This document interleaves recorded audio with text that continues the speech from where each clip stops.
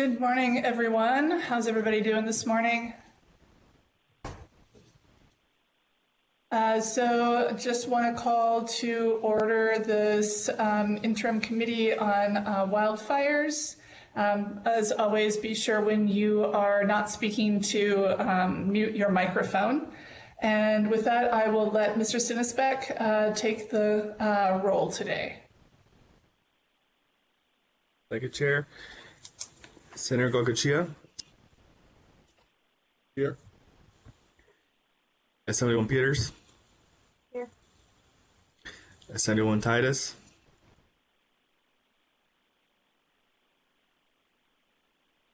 Here. Assemblywoman Titus. Senator uh, Brooks. Are you able to hear that? Here. Yes, ma'am. Senator Scheible. Here. Mr. Raby. Here. And Chair Swank.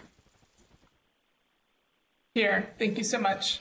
Um, so with that, um, we have, this is our fourth and final meeting of um, the interim study on wildfires. Um, we will be, um, I'm sure that none of us had expected to really do this all virtually. It had kind of expected to all be in the same room. We have a lot of more conversations that way usually, but um, I hope that this has been helpful and that we've been able to um, make some progress um, on understanding the problems we have here in Nevada. As we've seen so over the last couple of weeks, we've had several fires um, and um, hopefully as we move through today's agenda, we have two presentations and then we'll move into the work session. Um, that some of the, the BDRs that are brought forward in the next legislative session will help make some progress on our on our wildfire issues here in Nevada. Um, so just a couple housekeeping um, uh, remarks before we get started. So minutes of the meeting are produced in the summary format and not verbatim. Um, materials, all these meeting materials can be accessed on the committee's webpage. And anyone who would like to see, receive electronic notification and access to the committee's agendas, minutes, and final report can do so by signing up on the Nevada Legislature's website. Um, the committee will be taking actions, taking action on agenda items today, and we will use a roll call vote to do so.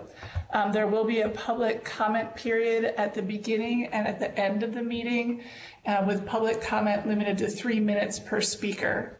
Um, and just so that everyone knows how to do this in this virtual format, um, there's a lot of different ways, and I'm just going to read through these just in case uh, folks are watching online and don't know how to call in um, or submit comments.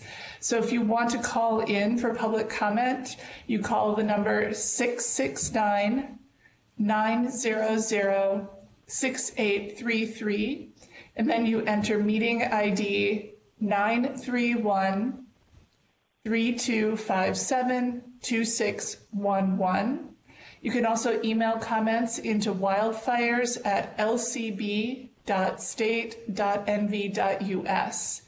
Um, and you can also, if you have a fax machine um, and know what one is, you can uh, fax in your comments to 775 684 6600.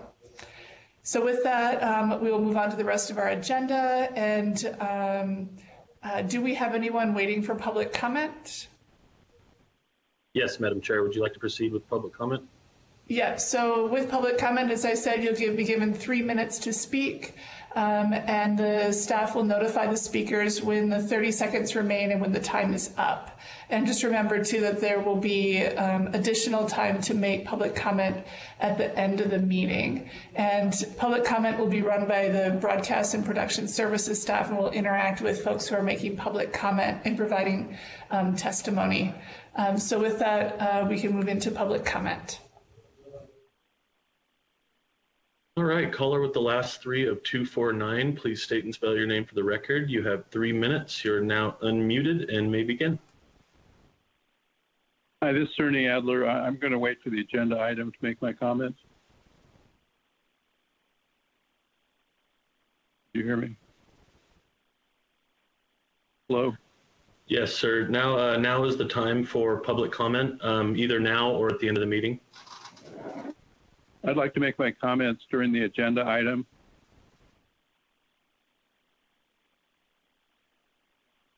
Um, Mr. Adler, I believe that um, there won't be time, there won't be a space for, for comments at that point. Uh, we're doing it for public comment at the beginning at the end, I believe. Is that correct, Mr. Stenisbeck? Well, I was going to make the uh, comment upon the or, uh, my recommendation on coordination between Sierra Pacific Power and Liberty Utilities at Lake Tahoe. Um, I observed that they um, both have detailed fire mitigation plans, but I think they need to be coordinated so that they can work together. Otherwise, we may have a problem if we have a major fire up at Tahoe where the efforts aren't coordinated. That's, that's my comment.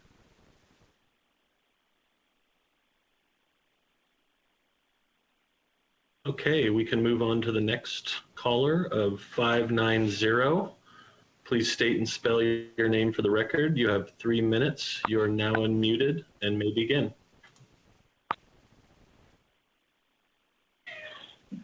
Madam Chair and members of the committee, my name is Adam Watts. I'd like to recognize the Wildland Fire Week of Remembrance from June 30th to July 6th, which was established following the Yarnell Hill fire that claimed the lives of 19 Granite Mountain hotshots in Arizona in 2013. In Wildland Fire, this week is dedicated to all those who have fallen in the line of duty and is intended to serve as an opportunity to renew our commitment to the health, wellness, and safety of wildland firefighters. As a former volunteer and fourth generation firefighter, I'd like to offer appreciation for the work this committee is doing to work towards advancements in resource protection, public benefit, and the safety and health of our wildland firefighters. Thank you.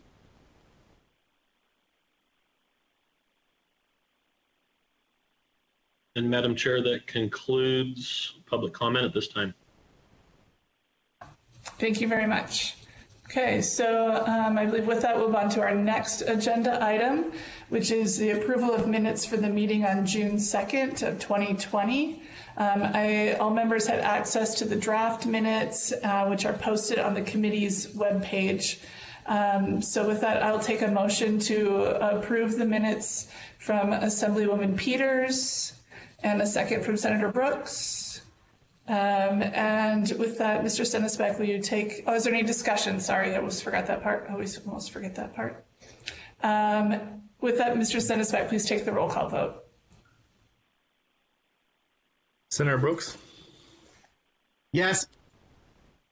Senator Goicoechea, Yes. Senator Scheible, Yes. Assemblywoman Peters, Yes. Chair Swank, Yes. Assemblywoman Titus. Yes. Thank you. The motion passes. Thank you so much. So with that then, let's move on to, we have two agenda items for presentation before we get to the work session.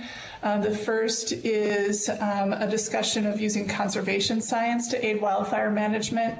Um, and we have some folks with the Nature Conservancy here with us. I believe it's, um, and I'm not sure to pronounce your last name, sir.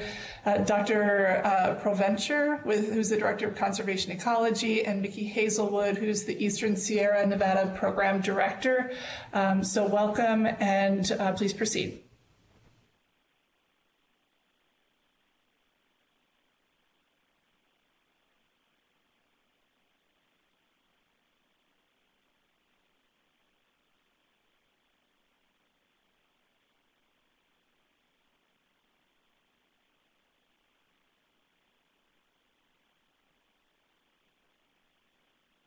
For the record, I'm Mickey Hazelwood, Eastern Sierra Nevada Program Director for the Nature Conservancy. And first, um, my colleagues and I would like to thank Chairwoman Swank and each member of this committee uh, for the opportunity to present to you today.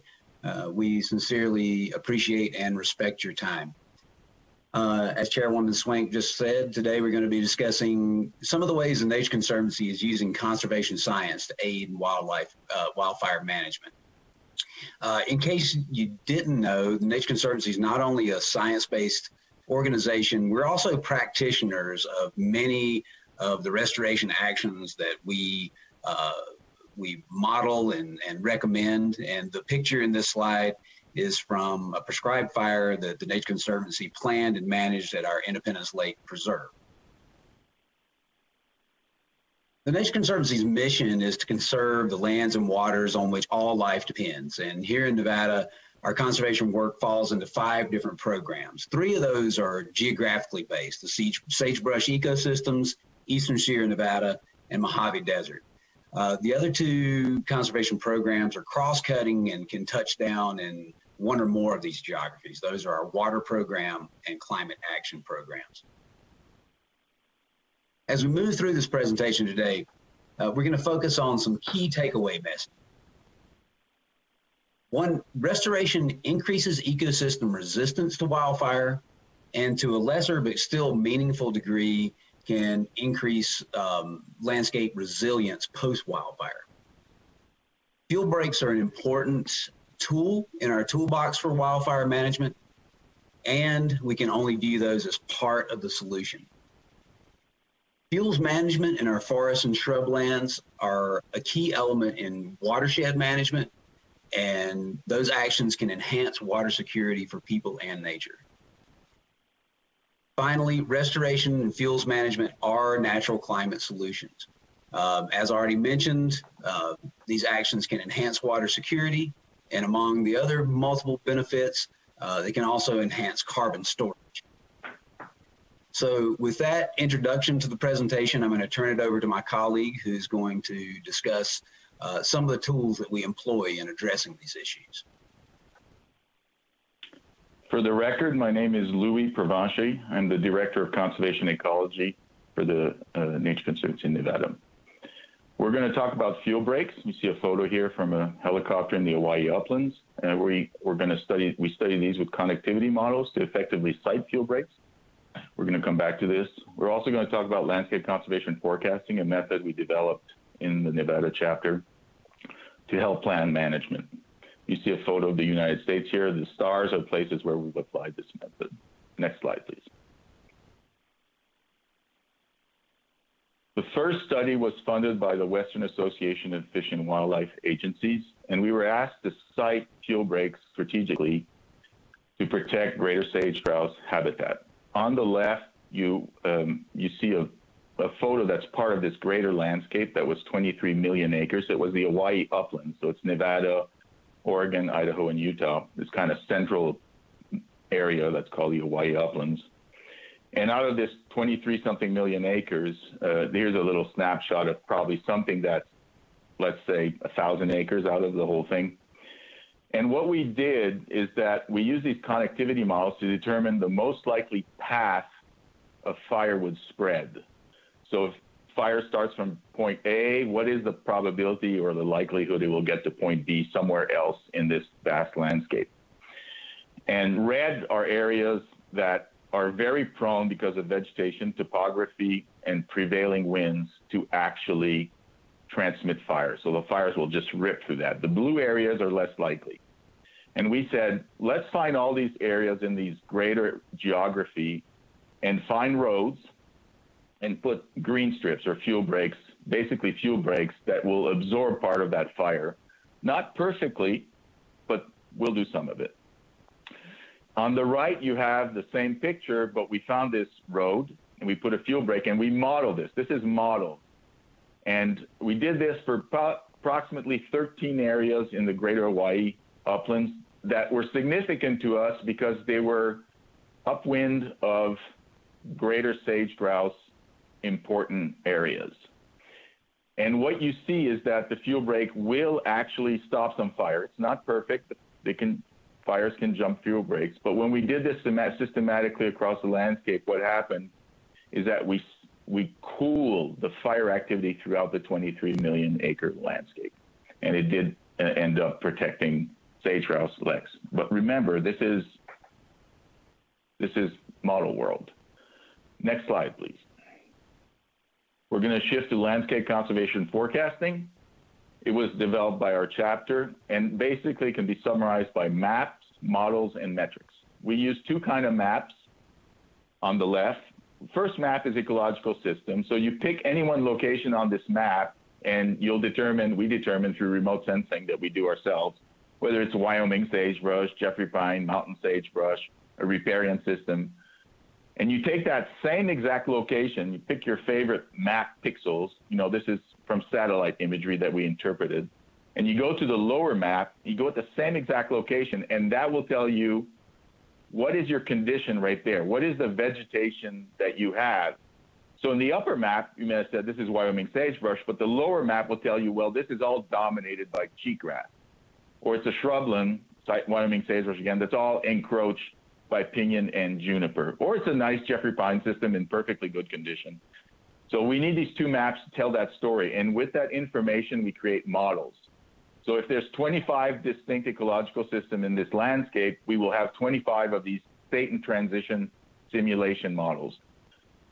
Some are bigger, some are smaller. But this information of the maps populates those models. And the beauty of these models is that we can simulate them on a computer into the future, 25, 60 years into the future, with fire and bug kill and management activities and all that. And we design what we call what if scenarios. What if scenarios are basically similar in NEPA to proposed actions. What if scenarios could be I'm not going to do anything else than what I've been doing before, or I'm going to do aggressive fuel breaks, or I'm going to do aggressive restoration. So you can dream up these scenarios and with a budget and failure rates and success rates and all that, and fire and droughts, and we simulate into the future. And from that, we're going to ask, well, are we better off doing something active and paying for it compared to doing nothing and not paying for it? Uh, or are we? Is there differences between these active scenarios? And to do that, we use metrics. And on the upper panel there, you see all these colors. There's each ecological system has a scorecard. That's our baseline metric that we provide for all our projects. And red is bad, green is good, and yellow is intermediate. And basically it says you can determine the scorecard, the value in percentages of your ecological system. What is the health of the system? Currently, and if you simulate in the future, you can say, what is it in the future after I've done all this stuff? And basically, you get a scorecard of your progress. Some of our customers or partners we work with want different metrics. And for this project, we were asked by the BLM to do greater sage grouse habitat suitability after 30 years of active management. So in this map of greater sage grouse, that's the map in the lower part on the right, green is good, red is bad, yellow is intermediate. And basically, uh, it just tells you if you do this with management, you get this map. Had we done another map, which I can't put in this slide, for doing nothing extraordinary or just no management, no no management, we could compare the two maps, and we've done that. Next slide, please. So in the framework of landscape conservation forecasting, we actually did a, a simple scenario where we had several objectives. And here are the two management actions we designed in this. One is we took this landscape in the Owyhee uplands. This is the Owyhee allotment. And uh, for those of you who know this landscape, the Martin Fire went through the southern part of this landscape. This work was done prior to the Martin Fire. You'll see on the left a slide called a panel there called fuel breaks. And what we did, we took existing roads. We didn't punch through intact vegetation. We took existing roads and we buffer them from a fuel break and we assign a certain resistance to fire going through them or jumping through them. The second action that you see on the right, we actually uh, seeded. And all those dark blue areas are areas of greater concentration of cheatgrass and we seeded their perennial grass. So we change, we're trying to change the fire behavior from something's very flammable, something that's a whole lot less flammable. So for a point of reference, this landscape here is about that you're looking at with those fuel breaks, about 200,000 acres. I don't know the exact number, but some of those linear fuel breaks you see there are like 30 miles long. So they, they, they're pretty big. So these are the two actions, and we're going to slice and dice them to do management scenarios. Next slide, please. What did we find? So the first result is, is maps of fire. So there's three panels here, and this is a heat map. Each pixel on this map, each location on this map, the color tells you how often that area burned. The warmer, the redder the color, the more often that location burned over and over and over again over a 30 year simulation. Gray areas never burn, and blue areas probably burn once, maybe twice. So it gives you an idea of the fire activity. And what you notice on the left, it says no management scenario there. That's a scenario. And there's this red area that uh, and yellow area that in the red circle that burned. And it burned quite frequently. There's a little bit of activity in the north that happened too. The middle panel is called fuel breaks, where we took those fuel breaks that I just showed you and we put them in the landscape and we ran the simulation again with fire spreading and all that. And you'll notice two things is that the fire activity changed a little bit in shape, but there's still quite a bit of fire in that red circle. So we didn't affect there. And you, if you remember that previous slide, we didn't really have fuel breaks in that area. There's not, it was not convenient to put one.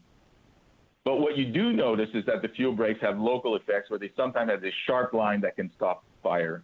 So you see a road there, a fuel break, and there's no fire on the other side. So that was a success rate. What's interesting to us is the right panel, where we actually added restoration. We kept the fuel breaks, but what's really the benefit here is from fuel breaks where we seeded perennial grass in these cheatgrass dominated areas. And what you'll notice is that we cooled greatly the fire activity. There's a whole lot less fire. That is due not to the fuel break, it's due to the seeding of perennial grass replacing cheatgrass. That's basically what it is. Next slide, please. We can express that same kind of data as a graph. So in this graph here, you have on the x-axis years of simulation. So if you see on the right says it's 25 at the bottom there in time step, that means that the simulation was run for 25 years in this case. On the y-axis, you see the acres that burn. Now the golden bar is no action. So the golden bar in this graph, for every year calendar, there's a golden bar and then there's a dark gray bar. The dark gray bar is management, and that is a seeding combined with the fuel break. Now, I just have to tell you, we could have put a third bar for every year, and make it more complicated, and that would have been the fuel break alone. But the fuel break alone was not very different from the no action in terms of total amount of fire. So what we're seeing is really the effect of seeding, and that's the gold bar compared to the gray bar. And what you'll notice is that consistently, when you do management, you reduce the acres burn. And that's the message out of this. Management pays off to reducing fire activity, and that mostly from restoration of cheatgrass dominated areas. Next slide, please. This is a little bit more complicated. I'll walk you through it. This has to do with net primary productivity. So on the y-axis, we have the years of the simulation, and then net primary productivity on the, axis, on the y-axis in terms of pounds per acre. That is simply the amount of vegetation, carbon that's stored in the stems, the leaves, and the roots. So it's all the carbon and vegetation you can cram in a system. What you'll notice is that there's a red and green line. Red is minimum management. Green line is the fuel break. So in this slide, we're actually showing again the fuel break. And what you'll notice is not a big difference between the red and the green line. They're actually statistically not different from one another in terms of how much carbon you're storing in this system. But the blue line, which combines the fuel break and the seeding, and really what you're seeding is the effect of the seeding right here. Well, in this case, there's more carbon increasingly stored so that the, as time goes by, there's actually progressively more carbon, and these differences are significant. So seedings alone stored more carbon into this system, and that's what it shows. Next slide, please.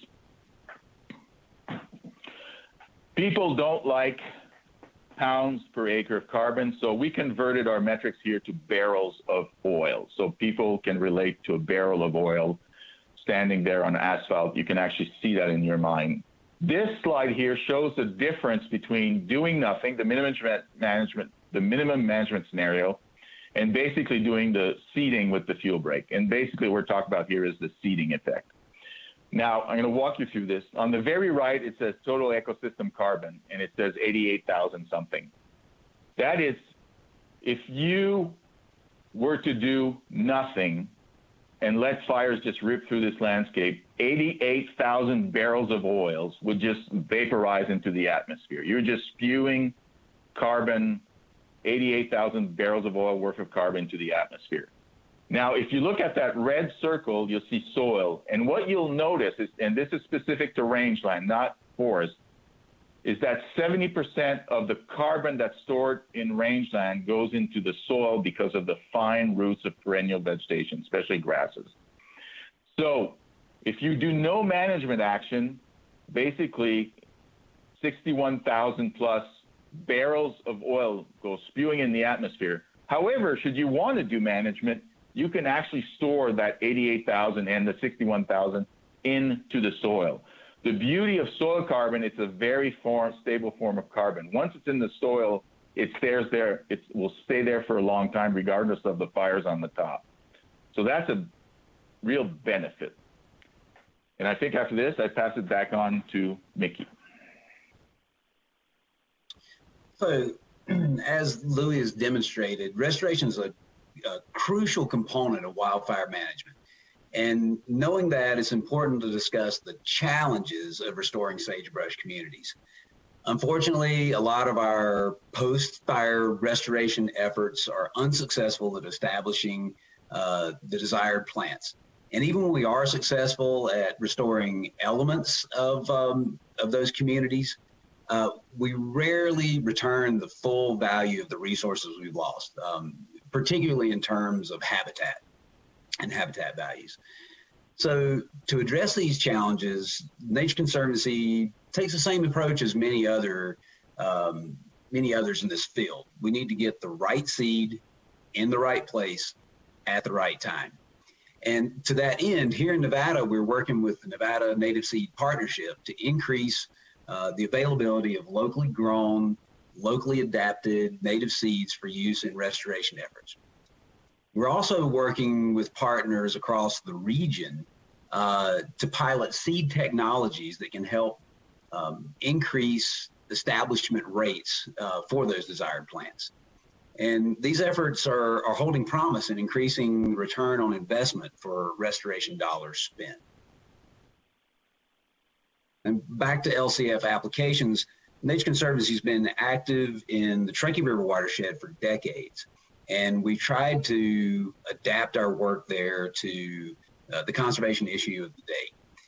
Uh, and a few years ago, we became very concerned that this beautiful watershed of ours that is just as important to the local economy as it is to fish and wildlife could go from this to this.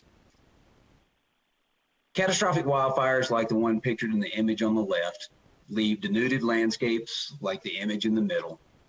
And those denuded landscapes, post fire runoff from those denuded landscapes can contribute soil, uh, ash, and debris and contaminate our waterways for years after fire events.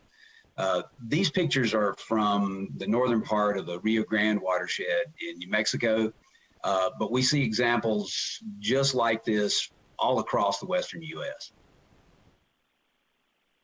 So, as Louis already demonstrated, LCF is um, is a flexible tool. It can be adapted to different landscapes, different vegetation communities. It can be used to address different conservation issues and answer different questions. And so, we asked Louis and his team to build and link maps and models to look at the current condition of the vegetation in the Truckee River watershed quantify current and future fire risk levels, and then couple those results with soil yield models.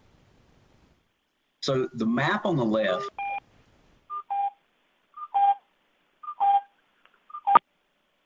Can you still hear me? Okay. so the map on the left demonstrates where stand replacing fire risk is greatest in the Truckee River watershed. The hotter colors demonstrate the, the higher risk levels. And again, these are stand replacing fires. These are fires that can denude landscapes like we saw in the previous images.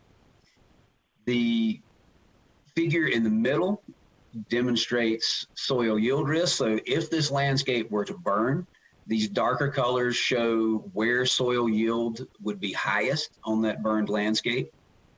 And by overlaying these two images, these two data sets, and then applying some parameters such as um, slope and distance to waterways, we can prioritize restoration actions, the sites for restorations actions, to re- to best return uh, to get the best return on our investment in terms of you know not only reducing stand replacing fire risk, but also protecting our water resources at the same time. And it's these co-benefit types of projects that we try to target. Um, and that's another advantage of using conservation science in the development of restoration in the development of restoration efforts. Um, by using conservation science and, and targeting co-benefits, projects are generally better for the ecosystem because we take a more holistic view of that system, and we, um, you know, use a, a, a more effective approach to restoration actions. And this is not only better for the landscape, but it's also generally more attractive to stakeholders as well as funders who may represent diverse interests in the same general landscape. And just, you know, recapping some of these co-benefits that, you know, we can target in any given project, of course, you know, trying to reduce the wildfire frequency, uh, protecting water resources, reducing greenhouse gas emissions, improving wildlife habitat, and then improving range conditions, um, creating higher quality forage for both uh, livestock and wild herbivores. So again, to just recap the uh, key takeaway messages that we want to focus on here. Restoration increases ecosystem resistance to wildfire. Um, again, to a lesser but still meaningful degree, increases the landscape's resilience post wildfire. Fuel breaks are a very useful tool and they should only be considered as part of the solution as they perform much better when coupled with restoration actions. Fuels management of our forests and shrublands are a key element in watershed management, and those actions can enhance water security for people and nature. And then finally, restoration and fuels management are natural climate solutions. Uh, again, uh, some of the co-benefits that can be generated from these are water security enhancement and carbon storage enhancement. So with that, we'd like to thank you again, and um, we're happy to accept questions if you have them. Thank you. Thank you both. Um, are there any questions from the committee? Yes, Chair, I have a, I have a question. Go ahead. Go ahead, Ms. Peters. Uh, thank you. Um, so this is really great and fascinating research. Um, my question, though, is how quickly do these predictions and um, priority projects become shovel ready? Um, like at what point how much more planning effort goes into making this a project that we can do like at the drop of a hat?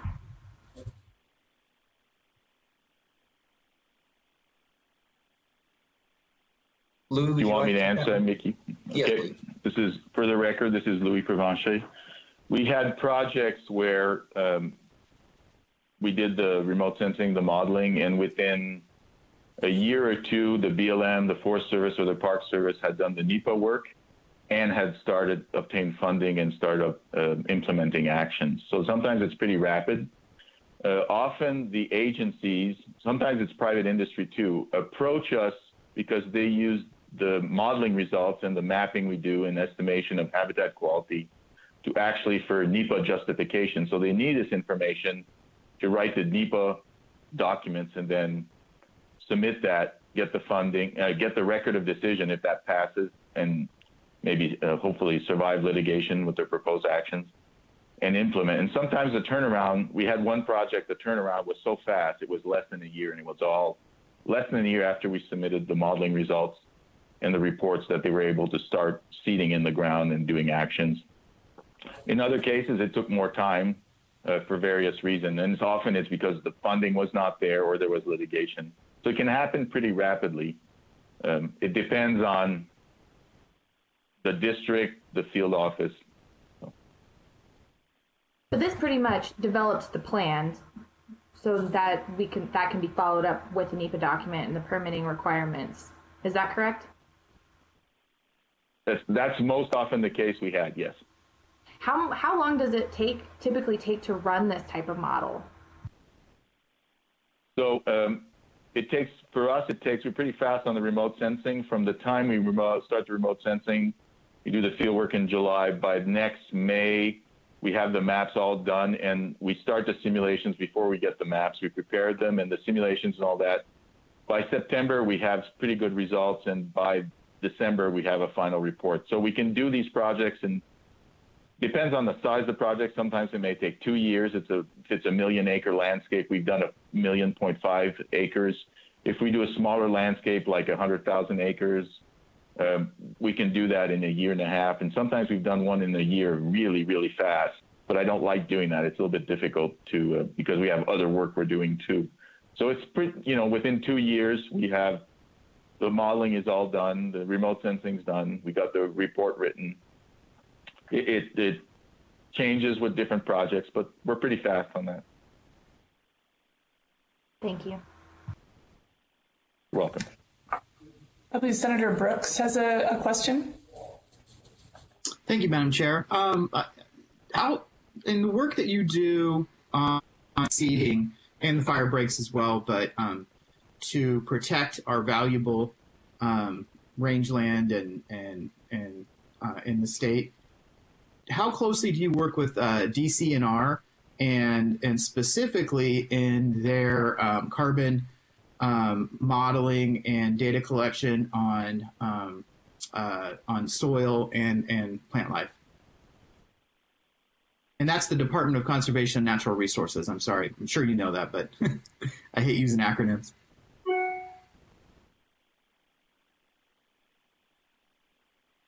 Not sure who's going to be answering this one. Um, I recently have a project that we started with the state of Nevada through the Heritage Program to work actually on the carbon modeling as a follow up from that Owyhee Upland project and restoration and estimating the how much carbon we could store in these degraded rangelands to restore basically to restore them to perennial vegetation.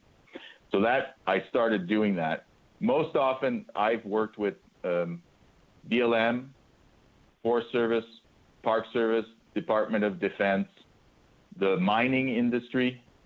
Um, so these are typically, and NRCS. We've worked with NRCS on several projects.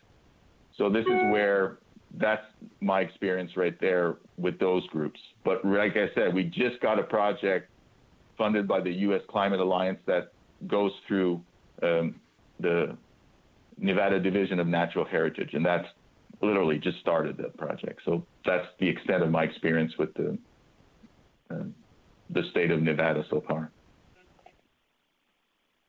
And, and Madam Chair, um, this is uh, John Raby with uh, Bureau of Land Management, and uh, may I add uh, points in here if that's okay? Yep, please do. Oh, thank you very much.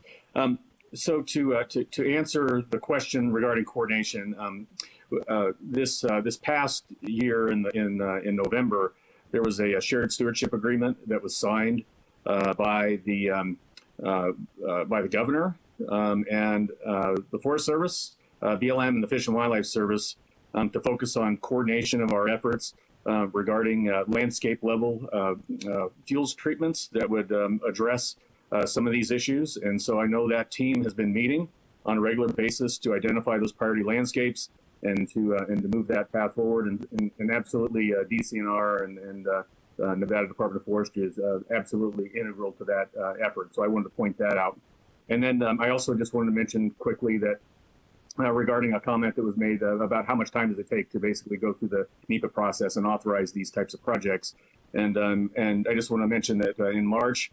that the Secretary of Interior did sign the record of decision for a programmatic an environmental impact statement that uh, analyzes the construction of over 11,000 miles of these fuel breaks across uh, sagebrush uh, ecosystem in um, Idaho, Nevada, California, and Oregon, and Washington. And we also uh, here in Nevada are implementing our the first um, uh, project, pilot project out of that. It's a, it's a four mile fuel break in our Elko district. And so what that allows us to do, that programmatic environmental impact statement allows us to rapidly um, uh, develop project level um, uh, evaluations and decisions um, to move these types of projects forward quickly. And I just want to say this work by the Nature Conservancy is just fantastic. They do an awesome job. They always have, um, and uh, just really appreciate their work. They do amazing work. Thank you. May, may I follow up, Madam Chair? You may. Oh, and I, and I want to thank Mr. Raby for, for prioritizing some of these these incredibly important projects that preserve our public lands, both for all Nevadans to use, especially you know the the ranching community and and up, up in central and northern Nevada, and also would like to thank the Nature Conservancy and, and for working so closely with DCNR in this current um, uh, grant opportunity that we have to to kind of look at where um, carbon uh, sequestration in, in our, our plant and soil life and is is uh, also helpful to all the, the users of the land.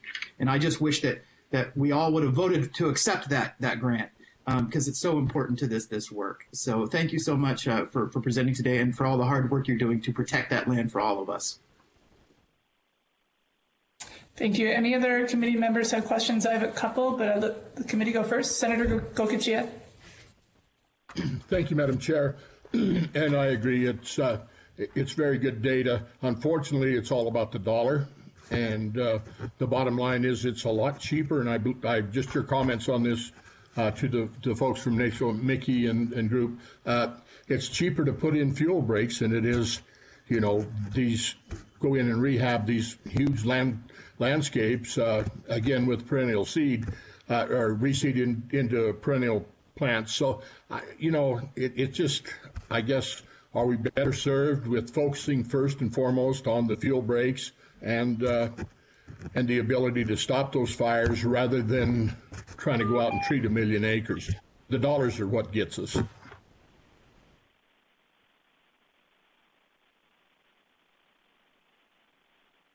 Thank you, Senator. Um, so I, I have um, Assemblywoman Titus is actually in her car driving, and she has sent me a couple questions that I agreed I would I would ask on her behalf.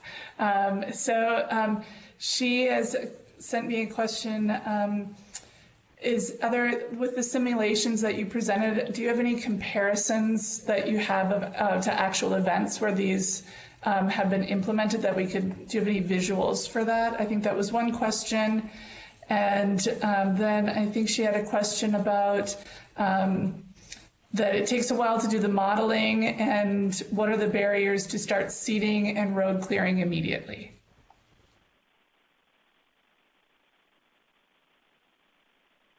I can answer. This is Louis Provencher. For the record, this is Louis Provencher. Uh, visuals for the LCF project we have uh, the visuals we have are what the agencies, the photo, uh, the agencies who have implemented the project, documentation photos of the restoration projects they that we recommended, and this has happened both in Utah and Nevada, some in um, California, so uh, Eastern California. So we would get those photos from the agencies that implement the project. Since we work on public lands, the Nature Conservancy is not implementing those. It's the the agencies are doing it. But um, and some is so we can actually obtain some of those photos of projects that's been done. Um, for the rest of the question, though, I'm going to have to pass it on to probably Liz Munn, which I notice is muted now, is on the thing. So she probably can, um, for the barriers part and all that, she's probably the best person to answer that question. And I'll mute myself. Thank you. Good morning. Uh, this is uh, Liz Munn, for the record, from the Nature Conservancy. Thanks, Louis. Um, I, I think the barriers that or, or, or, what we would emphasize is the use of um, really strategically placing those fuel breaks. Um, so it's, it's a, a, a, little bit of extra lift to make sure that we, we put those fuel breaks in the right place, but we want to make sure that because there is a cost both financially just to do them and and two, there is there can be a cost to maintain those fuel breaks, which we know is really important to their effectiveness. We want to make sure that we're strategic about putting those in place. So, uh, as Director Raby pointed out, there is a programmatic um, envir environmental impact statement that allows for a lot of fuel break activities to be rapidly deployed. We would suggest that some additional planning um, is is important, and as I'm sure Director Raby would agree, to make sure that we get those again in the right place. So if you think about the slide that we showed uh, with that connectivity model where we there's all the the red um, uh, that was sort of stopped by that fire. When you think about that, you know what that model, what that slide tells us is, you know, if we had shifted that fuel break 10 miles to the southeast or 10 miles to the northeast, it wouldn't be as effective as if we located it right where it was. So we think that these models are useful for, again, very strategically putting those fuel breaks so that we're not um, needlessly creating uh, um, fuel breaks where we are going to have to maintain them at great cost uh, for a long time. Thank you. Thank you for that. And I had one last question about um, the modeling, because you talked about um, this these are just these are cheatgrass dominated areas. So I'm wondering, do you have models of how fire breaks? I mean, how is there are there any models that show how we can start to get back from um, cheatgrass monoculture areas? I I know that, that Yes, that's this is the biggest issue. So um, yeah, is there a way we can get back get those back? Louis Provencher for the record. Uh, yes, actually, when we do these simulations, um, especially with the um, the federal agencies and also with the mining industry, um, we test many actions, not just cheatgrass, but one of them uh, we've actually different over large geography because of the preference of different field offices and ranger districts using different methodologies to treat these cheatgrass areas. We've actually tested, uh, we've actually simulated different types of restoration of these areas, some with pure native species and others with uh, introduced species mixed with native species and some with planting sagebrush and uh, plugs of seedlings of sagebrush and some not. So um, we've explored actually many things, uh, not just this one, but this is actually in many of the cases for of the more difficult actions uh, above a certain elevation, converting those cheatgrass dominated areas to something that's either more native or something that has perennial grass and may have introduced species in it, like crested wheatgrass, and mixed it with natives and sagebrush in it. That's actually less difficult to do because in the West, people have a lot of experience. It's really the lowest elevations that are the difficult parts. So, um, but with these models, they're flex, as Mickey mentioned, they're very flexible models. And whatever the customer wants, we will try to do it. And we incorporate the success and failure rate of actions into our simulation. If uh, seeding fails, 60 uh, is successful 60 to 70 percent of the time. That's what we put in the model. You still pay for the 100 percent because we attach a budget to these simulations. So you you pay for your failures too. And so, but it's what the customer wants or the agency, or and we we simulate that and try to achieve conservation benefits of various sorts. So we, I hope that answers your question. It does. Thank you. Um, are there any further questions from the committee? Uh, Senator Madam Chair. Mm-hmm. Go ahead. Thank you, Madam Chair. Uh, just uh, this is more to, to John Raby. Uh, does it always require an EIS, or can we, especially coming out of a fire, can we not get by with a with an EA? And it, you know, in some of these cases, especially coming out of a fire, and if we want to get get on the ground quickly, do we? Does it always require an EIS, John? So again, uh, thanks for the question, uh, John Raby, uh, Bureau of Land Management, for the record. And um, uh, it, it, does not, um, Senator Goicoechea, it, it, does not always require an EIS. And in fact, um, when we do our burned area uh, emergency response plans, um, those are done in a very rapid environmental assessment and site assessment by a by a strike team that comes in and, and puts that together. And then we have a burned area rehabilitation um, uh, plans that those typically are the actions that are implemented two to five years after a, fire has burned. Um, the emergency response is to, to, deal with the very first year's um, uh, needs, and we do um, uh, many times we'll do uh, we can do an EA uh, environmental assessment to um, implement those actions um, when we don't have um, again complexity or, or some situation that would cause us to go to an EIS. So we absolutely can do uh, do an e, uh, environmental assessment and not do an EIS. Thanks, John. And so, in that scenario, and I'm just trying to paint the picture, uh, clearly, if we're coming out of a fire, and uh, again, with the data that's provided by Louis and Mickey here, we can, we can see, okay, it does, it would be beneficial to really move forward and seed this particular area or reinforce and, and rehab this particular fuel break. Uh, you know, I think it's so much, it's critical, and then we don't have to deal through this long EIS process. And because and then the other scenario is the native versus non-native seed. You know, most of us out here in northern Nevada would prefer at least a mix because we have better success, and I don't think anybody disagrees with that. Did you guys look at that, Mickey and uh, uh, and Louis, as far as you know, as you're doing this data and, the comparisons, you know, the success rate on rehab versus uh, native versus non-native. So I'm going to take this from Louis. um, so again, Liz Munn for the record, um, and as we've pointed out, we, we do a, a variety of treatments um, that we've modeled, and, and we recognize the challenge of using native seeds, particularly in uh, low elevation conditions, low precip zones. And so we typically model using introduced, introduced species such as crested wheatgrass, Siberian wheatgrass, uh, forage kochia in those areas. We also uh, model a lot of our fuel breaks we consider to be uh, green strips of crested wheatgrass because they're, you know, lower cost to maintain over the long term. So we, we, we recognize that, especially at lower elevations, that's probably the most cost effective tool that we have right now. Um, one of the things that you point out in the last discussion that I um, is this idea of using these kinds of models as a as a um, pre-planning activity for the eventuality that we are going to have fire, and it's something that TNC is exploring right now with our with the um, uh, potentially with the BLM.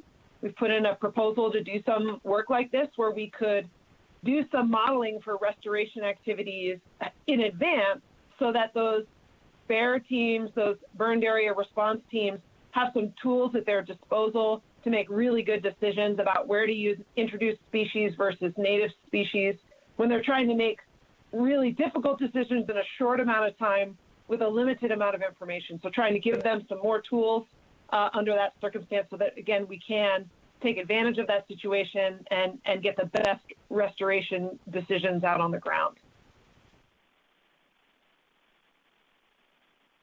Thank you, Liz. Thank you, Madam Chair. Any further questions? All right. Um, and I will also note that um, the money that came through through the SB 508 um, allocation for um, wildfire planning really has been um, um, a way to assist these multi-agency um, partnerships to try to get some of this work done, right? And we just, at the last um, interim finance committee, uh, got approval to release the remaining um, $4.75 million for that. Um, so that money will be going to good good use for um, planning going forward and, and um, fuels reductions. Um, so if there are no further questions at this point, I want to thank everyone from the Nature Conservancy for being here. We appreciate it. Always good to see you. And thank you so much for your presentation and all of your excellent work. And with that, we'll, we'll move on to our next agenda item, which is agenda item five. Uh, this is a presentation of wildfires and mining in Nevada. And I believe we have uh, Mr. Gray with us, who's the president of the Nevada Mining Association. Uh, we also have Joseph Riney, who's the director of workforce engagement with uh, NMA, and Rich Mayer, who's the regional safety and fleet manager for State Fire. So, uh, gentlemen, however you would like to proceed, and welcome to the committee. Good morning, Madam Chair and Chair members of this committee. Uh, Tyre Gray here, president of the Nevada Mining Association. And uh, frankly, I have to get used to saying that. This is actually my first presentation, so this uh, committee will always be endeared to me as being the very first time that on the record I've been able to share that. Um, first and foremost, I would like to say hello to my friends from TNC. Um, we actually have them scheduled to present at our board meeting uh, next week, and we've been able to have and establish a wonderful relationship with the Nature Conservancy. So I do definitely appreciate the work that they've been doing. Um, as you all know, the Nevada Mining Association is a members-based um, association with roughly 525 members. And the entire mission of, of the association is to unite, educate, and advocate um, to serve as the voice of the modern mining community. And today, what we're going to do is kind of just walk you through um, kind of a very high level um, introduction of what the mining industry has been up to in regards to being able to, res- to respond and plan for what is inevitable, unfortunately, which is the uh, possibility for wildfires. So with that, I'm going to have Joseph take it away, and also um, he will kind of guide you through the presentation, and then myself and Rich will be here and available for questions that the committee may have uh, later on um, after the presentation is over. So with that, Joe, go ahead and take it away. Thank you, Tyre. Joe Riney for the record. So I wanted to start first with some of the risks that uh, there are that pose to the surface mines. Of course, some of those risks will obviously be the health and safety of miners, but one of the critical pieces is the electrical infrastructure. Uh, that is an important piece that it always needs to be protected.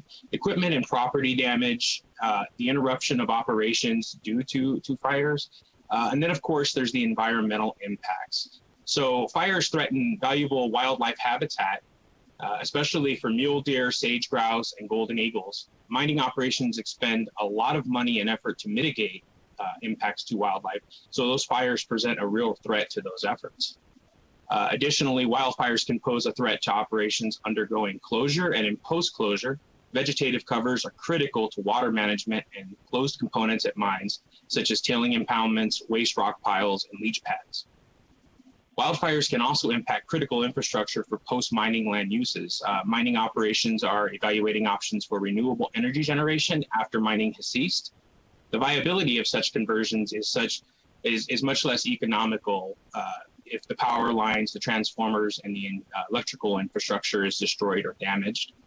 Uh, and then infrastructure damage from wildfires can also impact systems that are important to maintaining environmental controls, uh, such as pumps, pipelines, alarm systems, liners, uh, things of that nature. And then one issue that uh, that's come up in recent years is dipping from impoundments. And so when when firefighting efforts are underway, they will dip from various ponds that are available, various water sources. Um, and it has happened in the past where uh, the wrong pond was chosen for a dipping location. Uh, we've since worked on that, so uh, it seems unlikely that that would happen again, but that is definitely a risk. Some of the risks that you'll see for underground mines are, are largely the same as with surface. However, there are few major uh, differences. The first being ventilation systems. So ventilation systems obviously are bringing in air to the underground mines. And so if there's smoke in the air, you'll have uh, carbon monoxide, carbon dioxide, and that could get pumped down into the underground mines, which would uh, very quickly, pretty much instantly become uh, an urgent issue, uh, requiring the uh, emergency escape of miners. Um, so they will have uh, N95 self or W65 self rescuers which they'll don those and, and work to exit the mine. Um, but along with that, if there's electrical damage and there's issues with hoists or powering those devices, it could be problematic getting them out of the mine at times. So uh, those two really lie together. Um, and then, of course, there's the interruption of operations. But ventilation and electrical are the primary risks when it comes to uh, the underground mines. So this is a, a map that we've had uh, put together with uh, the Nevada Division of Minerals. And what this is, is this is the fire danger, wildfire risk index map. And overlaid with that, we've got uh, the, the major mines of Nevada. So it's not every single mine in Nevada, as there's a little over 200 total, but this is all the uh, all the major ones with you know 10 or more employees, um, and so they're spread pretty pretty uh, randomly throughout the state. We did provide this as well, so you should have a handout that you can print and, and get a better view. But we do have a close-up view of Northern Nevada. So this is the enhanced view for Northern Nevada. As you can see, there, there are a few mines that are in uh, high-risk areas. Uh, and so in this model here, the blue triangles will be metal, gold, silver, copper mines. The uh, gray ones will be industrial minerals such as lithium, uh, barite, things of that nature. And then aggregates are the black ones. And then uh, specimen minerals are the gemstone mines. We've got a couple of those throughout the state. This is a close-up view of southern Nevada. And so as you can see, they're, they're pretty well spread there as well. Um, much less risk areas, but uh, there's definitely some mines in some critical areas. Next up, we wanted to discuss some of the mitigation efforts that mines go through. Um, so obviously PPE would be a major piece of, of protecting employees. Uh, and some of the PPE used is firefighting helmets, goggles, shields, uh, fire rated shirts, pants, uh, and sometimes a, a coverall instead of a, a shirt or a pants, leather gloves, fire shelters, and then with that, we would need to train all the miners who are going to be involved in firefighting rescues, all the emergency response crews. So any personnel engaged in the suppression of wildfires will have the minimum training uh, and demonstrate the following, which would be fire line safety, use uh, uh, and limitation on protective equipment, fire shelter use, basic wildland fire behavior, fire suppression techniques, and then basic wildland wildland fire tactics, and then, of course, first aid. And all miners on, on a mine site are trained in first aid uh, as a base criteria to be a miner. Then, of course, they've got their annual refresher trainer training, which is, uh, you know, they'll meet the prerequisite for fire, fire, firefighter training, and they shall attend annual wildland, wildland firefighter refresher trainings and properly demonstrate the usage of all equipment, tools, and personal protective equipment, as well as uh, fire shelter use. Uh, one big tool that we've had uh, really that's that's come a long ways with the uh, mitigation efforts has been the annual BLM meeting. So we have a state preseason preparedness meeting that happens between the mining industry and BLM. And this annual meeting has uh, worked well for communication and making sure that everyone's on the same page on how things should proceed during the fire season. Uh, lots of issues have been worked out in the past with these meetings. Uh, this is how we were able to overcome the dipping issue that occurred in the past. We've uh, discussed communication issues and how to modify communication to uh, improve response. And then, so one of the final tools that a mine will use to protect the, uh, the, the, property would be uh, defensible space. And so mines will prepare a safe area around the mine perimeter, known as the defensible space. And then during wildfire conditions, the space is utilized to act as a barrier between approaching fire and infrastructure that needs to be defended. Uh, and this can be done with heavy equipment, hand tools, or through controlled burns. And in the picture below, you will see uh, an example of a controlled burn at one of the mine sites. So the teams are working on clearing some of that, uh, that fire fuel, uh, and so creating a, a, defendable area. Last, I wanted to discuss some of the success stories that have uh, came out of uh, recent years. And so first would be the support for the BLM annual preseason meetings. These meetings have have consistently proven to be a benefit for the industry. Uh, we've been doing them for, I believe this will be coming up on the third year. Uh, and it's definitely helped to iron out those communication issues as well as uh, increase the cohesion in firefighting efforts. Uh, we have been working on sharing fire danger information. And so that's a network of if there's a fire, it's coming in this direction. And that way we're able to better respond and uh, get those mines that are able to respond to respond as needed. Um, and a great example of that would be the, the Cortez mine. Uh, and I do believe Rich Meyer uh, was involved in this uh, specific situation where uh, a 700 acre copper fire from 2018 was fully suppressed by Barrick Cortez. The, the fire occurred when BLM had multiple unstaffed fires, and then mutual benefits were realized from the BLM with suppression of costs and resource damage and Barrick by protecting the critical mine infrastructure and keeping the mine open and operating. So some of the training would be uh, from the BLM is uh, over 150 mine employees have been trained uh, and wildland fire dozer use through uh, memorandum of understandings over the past two years. Uh, a copy of those MOU uh, MOU document is included in your packet as well. And then geospatial mine data. So the industry's been working with the BLM to identify potential water sources that can be used for dipping during fire control situations. there is also a significant risk if the dipping occurring from an impoundment that may have contaminants, chemicals, or even fuel that could uh, help fuel the fire. So uh, we continue those discussions, uh, and we're also discussing on increasing more mapping into the BLM Collector app that will identify power lines, power infrastructure, and high value targets. Uh, really, those those critical infrastructure pieces that we are looking to uh, really defend that are important, such as the uh, power infrastructure that would lead to an underground. And with that, um, I think we're ready for uh, for questions. I would just add one thing um, to Joe's presentation, uh, just as a reminder that we have members and operators who will be as small as 10 employees um, and as large as thousands of employees. So, some of our operators are trained and have the ability to actually be able to respond to these wildfires on their own. Um, however, there are others who, just like uh, regular citizens and a regular business uh, businesses, uh, their only resource is to actually pick up the phone and, and call for help. So we do have a wide variety of responses um, depending on what the resources of that mine are. And so, I mean, that's just something to keep in uh, keep in mind. Thank you. Thank you for that. So, are there any questions from the committee? Uh, Senator Goicoechea, go ahead.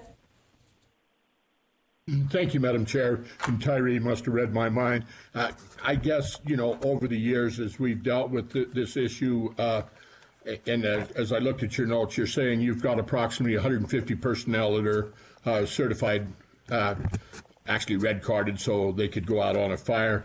Uh, and I guess that depends on how many on our shift. I think if there's kind of a hole in the program that, that we I would like to see personally across northern Nevada is is the ability of the mining industry to respond. In many cases, they do have equipment, i.e., large motor graders or and, and, or water trucks that could respond. And in many cases, they really don't respond until it's actually a threat to their facility or i.e. their their power lines or infrastructure. So, you know, I was just hoping as we work towards this, they definitely have the equipment, they have the personnel. If we could kind of focus on additional training there and additional certification and additional protection from the mining industry. Sorry, Tyre.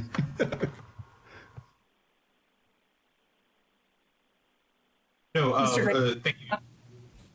Uh, this Tyre, for the record, Tyre Gray, Nevada Mining Association, uh, through the chair to Senator Goicoechea.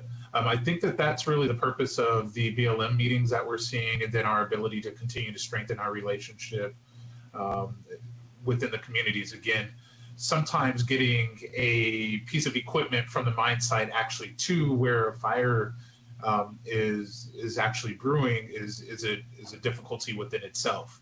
Um, again recognizing the size of some of those equipments but i believe that we're working on creating some of those mutual aid agreements.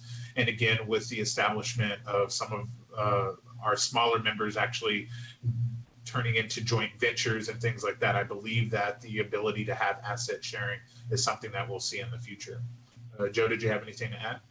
Joe Riney for the record. Yeah, I just wanted to stress that there are many mutual aid agreements out there where uh, mines do come to the aid of counties, cities, and things of that. But as Tyre mentioned, it is definitely an issue to get a piece of equipment. Um, if you're talking about a D12 dozer, it's it's a very large piece of equipment, um, and moving it is a, is, is a huge challenge in and of itself. And just tramming that vehicle directly to the site, um, they only move at uh, I want to say probably 10 to 15 miles per hour. So getting it from point A to point B can be very, very challenging. Um, so there's definitely that, but there's always room for improvement as well. Uh, Rich, do you have anything to add?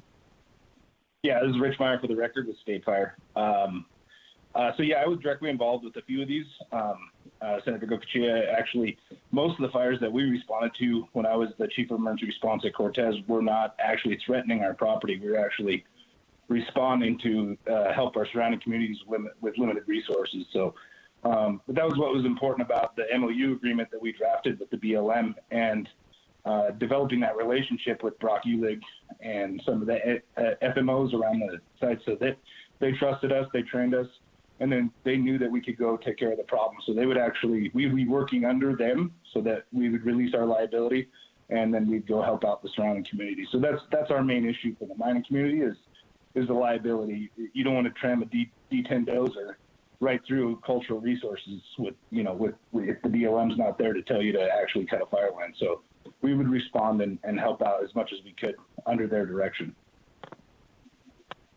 Thank you. I appreciate that. Uh, I'll go back to a fire that was at Bald Mountain. Uh, we were there fighting. It was very close to mine property.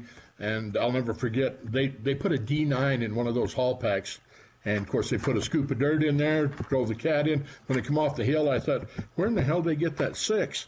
But when he dumped it, it was a nine. So uh, they move them a lot faster than us cowboys can. Thank you.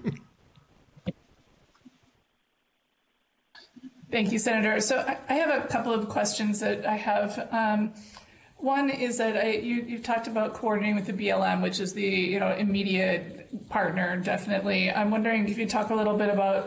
Um, I know that at NDF and the Forest Service and BLM have all been talking together. Um, how much has has um, mining been talking with those other organizations? Just because it's becoming a bigger kind of co- um, coordinated coordinated effort in Nevada. I'm going to defer to Rich on that. So we, we uh, Rich Meyer for the record, but we, we would, uh, we can, we coordinated with everybody. I, we, I don't know if you knew, I, I work for a large mining company. So we, we had actually EMS, fire, structural fire, wildland fire, uh, wild, uh, hazmat response. So, uh, we, it was our effort the last five years to really get community engagement and that, and get out in the community and let them know that we, what we could do as an emergency response team. Um, so yeah, we we worked with a lot of those community outreach programs to, to just get out there and let them know that we could help them. And actually, just during my tenure at, at that larger mine, we, we responded to multiple things that weren't just wildland fire. We would actually go out for hazmat response and, and, and things of that nature as well. So um, it's been a high priority of the emergency response department and those big bigger mining companies to actually get out in the community and, and let them know that we're, we're there to help and we're another resource. So have you been working with the division of the Nevada Division of, of Forestry then? Yeah, I would uh, I would pick piggyback what Rich said um, just briefly and say that through our environmental committee, through the association, um, we invite not only the environmental experts from the different mines in, but we also invite all the regulators in. And so we're at least on a quarterly basis having these conversations and being able to identify and and frankly speak about environmental issues, um, wildfires being one of those, and our ability to work with our regulators um, again to tackle a lot of these uh, these situations. So I'll let Rich kind of fill in the holes there, but we are actively engaged um, at a very minimum at a quarterly basis, if usually not on a um, every uh, on a monthly basis with our regulators and the independent divisions and departments in order to help and figure out ways to continue to protect the environment also and carry out um, our operations safely. Um, just to answer your question, I, I didn't specifically um, cooperate with the Nevada Division of Forestry while I was there. It's been a, it's been a few years now. Um, I can't speak to what they're doing at this point. Um, mainly, we worked with the BLM because we were operating in a in a BLM in, in environment on land, um, and our local EMS and fire uh, companies around us. So for me, it was mainly Eureka County. I worked a lot with the Eureka County EMS department and um, the Eureka County volunteer firefighters and and, uh, and the BLM. So that's who I partnered with mostly. Thank you for that. And I do think that um, reaching out to our local partners is really important. I think over the time that I've been working on wildfire issues, that's been a, a bit of a weak point that we see state and federal having great conversations. Um, but um, we need to do a little bit more outreach to the locals. Um, I would say that it's probably a good idea to kind of get in touch with and, and link up with the Nevada Division of Forestry. There was a study that came out by the Forest Service, I think it was last fall um, suggesting like this uh, a shared stewardship that's run through the state. Um, and so we've been kind of having those conversations of having that state office as being kind of the focus of um, of efforts and moving toward that in the future. So I would encourage that. Um, my other question is you talked about the 150 people. I wonder if you can talk that, that are trained to work on um, fighting fires. How are those folks distributed? I'm guessing it's kind of intuitive, but if you just talk a little bit about that distribution, that would be helpful. Um, I'll, I'll take this one, Joe. But um, so so how I did it is it was it was my responsibility as staff. We run more on like a volunteer basis. So most of our emergency response personnel were actually hourly workforce. Um, so they'd actually be on shift. Um, it was my goal, and it was written in our emergency response plan, that we would have 10% of the workforce at any time uh, be be part of the emergency response team, and we had every modality of rescue that they would have to be trained in. So, if you're looking at a larger operation, where at any one point in time uh, we would have you know 50 people on a surface operation. I would have five, and then probably another six in the underground. So uh, I had about at, when I left about 18 per shift at, at, Cortez alone, and then at Gold Strike it was about the same, so 15 to 16. Um, and that's another stride we, we we used, and we used our underground, and we started training them. So we got larger groups of people that could respond at any given time.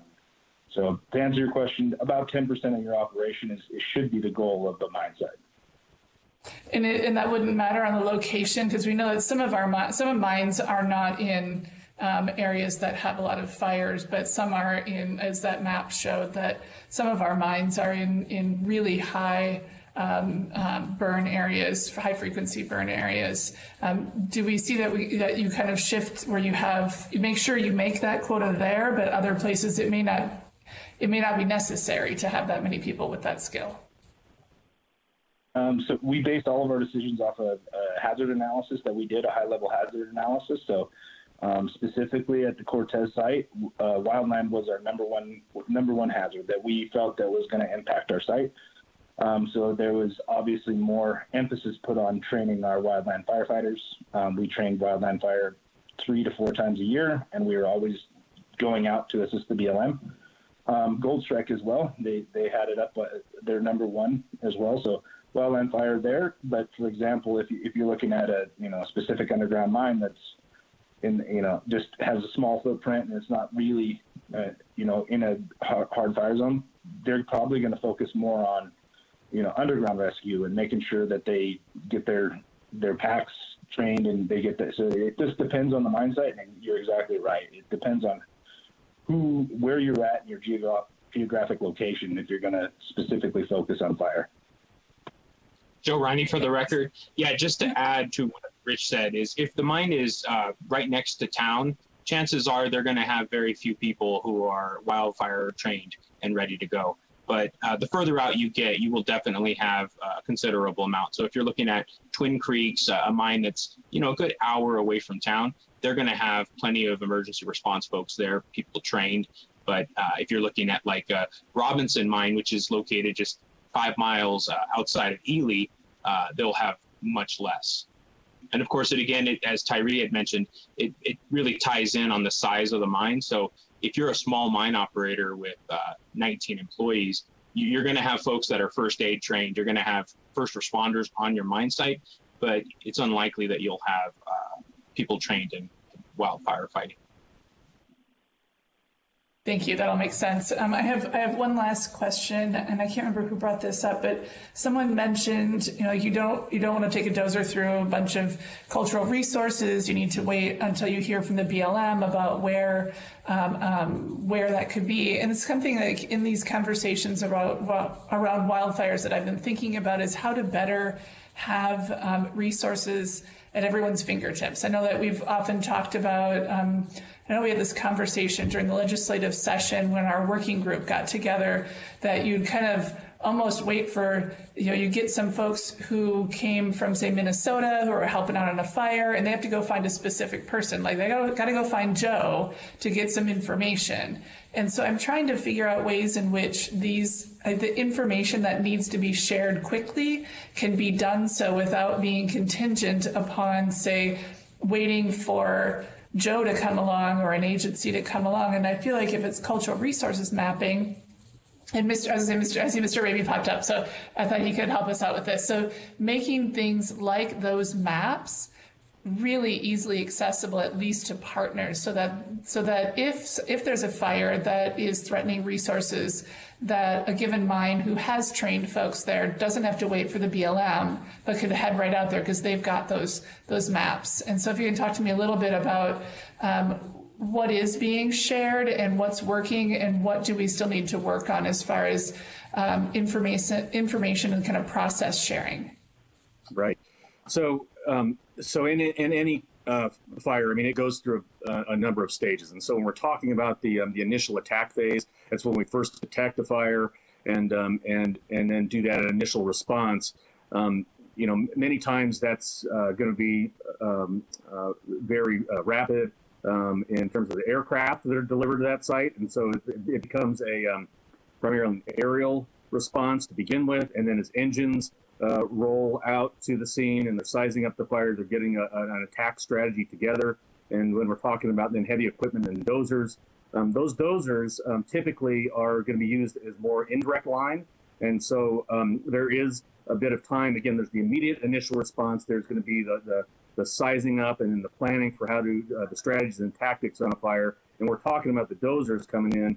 It does take some time to mobilize those. And at the same time, we mobilize our, uh, what we call our resource advisors. And, and those folks have with them all of the um, locations on whether it's uh, threatened endangered species or sensitive plants or archaeological or cultural resources sites. They have that information from our GIS system and, and um, it is available for them so that they can work with the operator of that piece of equipment to, as they're constructing line, to identify where they would construct line and then be able to uh, uh, construct that effectively. Now, you know, there are always perceptions about um, the time frame it takes to respond. Um, there's the perceptions about um, uh, whether somebody was uh, readily available to get a hold of.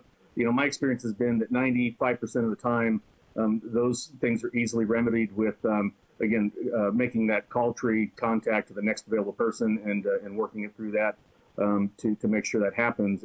Our our our information, our geological or uh, geographic information uh, system does have all of those sites in them that we that we know of. Um, it's um, we we do that make that available to um, folks in the wildland fire community and to, and to partners to, you know, again, um, to the extent that we can provide that general location. Um, some information, quite frankly, is, is, is sensitive and protected by, by, by law. And so we have to be mindful of that. And, um, and, and sometimes that does take uh, some, some working through in, in rare circumstances. But, but by and large, it's the exception and not the rule that, that things are delayed.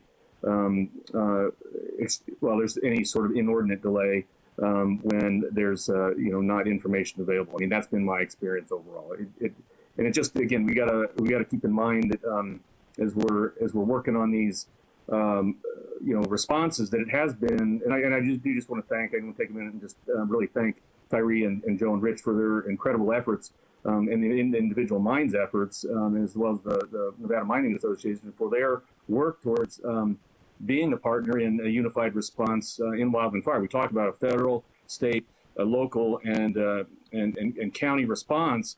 And, and that local response, um, again, uh, is is significant aspect of, of making sure we're effectively responding to wildland fires, and, and, and the folks in the mining community do that incredibly well, and, as well as the ranching community. And that's part of our rancher liaison program. And, and those folks live out there, they're out there on scene, and, and many times they're the first to respond. I Just want to thank them for that. Thank you, Mr. Raby. Mr. Riney, did you want to chime in?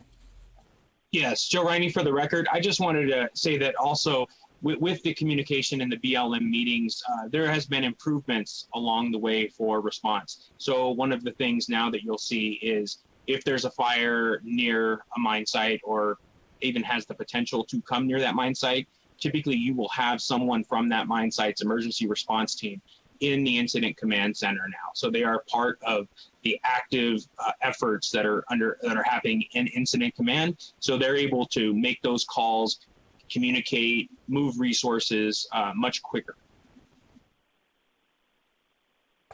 Thank you. Uh, Rich Meyer for the record. I, I'd like to just I've had real world application and, and really what we're what we're what we've found with the improvement of uh, the communication between us and the outside agencies of the mining and the outside agencies is, is one understanding the, the lingo exactly what he's talking about. We, we can get on scene quickly.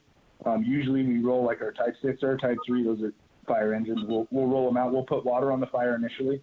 Uh, we'll size up the scene. We'll get weather information and any critical assets that are that are going to be infringed upon, and we get that information quickly and, and concisely right to the BLM or whoever's going to be responding, so that they can make a better decision on on how many resources that they need to send at that time. And I think that's the biggest success that we've seen so far is, is actually that open line of communication. At, at one point in time, Brock and I just, he, he, just called me. He had my cell phone number. So, um, and we'd respond to even farther outside resources at that point. So um, it's a pretty successful relationship at this point.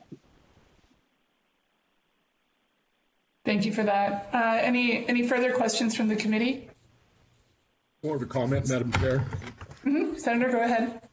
Uh, yes, uh, and I really appreciate it, Rich. But and uh, it's all about initial attack and the ability of the mining company to to quickly uh, respond. Uh, of course, I'm very, I know Ro- Brock very well, and uh, I know your area there in Cortez and the Crescent Valley, but you talked about the 700 acre uh, copper fire in Crescent Valley. That's 30 minutes, uh, you know, in Crescent Valley with a little wind in that cheatgrass. It's all about initial response, and I really appreciate, you know, in most areas and, and the progress we've, we've made. You know, 10 years ago, it was not unusual not to get a response from a mine. And, and today we do see it. And uh, I think a lot of it is local fire departments reaching out. They do have fire plans and, and contingency plans in place. And I really appreciate what, uh, what they're doing. Uh, it's just we can never have enough. And that's my comment.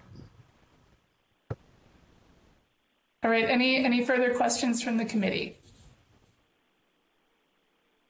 Okay, seeing none. Um, thank you so much, gentlemen, for, for being here today. And Mr. Gray, we are very um, honored to be your first committee uh, presentation in your new position. Congratulations. Um, so thank you so much and um, have a, a safe holiday weekend. Um, so with that, we'll move on to agenda item six. This is our work session. Um, so um, you should have that document in front of you. It's also on the website, committee's website. Uh, just as a quick reminder, we do get five bills from this committee, but we can also have letters that we could send out. So there are some of those on the list. Um, I will also say that um, the work session document you see ahead of you is maybe not as bold as all of us would have liked to have been. Um, I think uh, at least Senator Goicoechea and I had had grand plans, but in light of um, the budget constraints that we're currently under, um, we, as we developed this list, we really tried to um, pull back any that had significant fiscal notes. Uh, tried to really emphasize things that we could do in the 2021 session that um, had no fiscal notes so that we can make some progress on wildfires. Um, uh, in this legislative session because we know that financially there won't be a lot of money this time around um, for programs. So while this may not be as exciting as we all had hoped, it will definitely um, get us in the right, moving in a, in a good direction. Um, so with that, Mr. Stinnesbeck is going to walk us through um, each of these and the votes, and um, we will get a move on there. Thank you, Mr. Stinnesbeck. Thank you, Chair Swank. Uh, for the record, I'm Jan Stinnesbeck with the Research Division of the LCB. As nonpartisan Senate staff, I can neither advocate for nor against any measure that comes before this committee. Uh, with that, I will provide a short overview of the work session process and the document in front of you. Um, the, the work session document is designed to assist the committee in determining what actions it wishes to take. Each item in this document may be subject to further discussion, refinement, or action. Uh, the items are not listed in provincial order, neither are their inclusion and expression of support uh, by the committee. And um, as uh, Chair has already mentioned, in general, the committee can request uh, uh, to draft either bills or resolutions, send letters, or put a position statement in its final report. Uh, it is important to remember that the committee is limited by statute to five legislative measures, and uh, that any recommended legislation proposed by the committee must be approved by a majority of the members of the Senate and a majority of members of the Assembly. Um, with that short introduction, I'm ready to walk um, the committee through the work session document itself and through the recommendations if you wish. Chair? Yes, please. Thank you. Recommendation A, the first recommendation in, in front of the committee today is to draft a bill to codify in statute the Wildland Fire Protection Program, the Nevada Network of Fire Adapted Communities, and the Nevada Fire Board of Directors with Nevada's Division of Forestry. Additionally, the bill would create an incentive program under the Commissioner of Insurance to encourage insurance-related incentives for Nevada homeowners that become and maintain a fire adapted community status. The recommendation was made by NDF, and I believe we have Kacey KC, State Forest Fire Warden, with us today on the phone um, and to, to answer any questions that the committee might have. Um, as said, the, the recommendation was made by NDF, and uh, thank you, Chair. Thank you, Mr. Stinnesbeck. Are there any any questions on um, on this BD on this proposed BDR?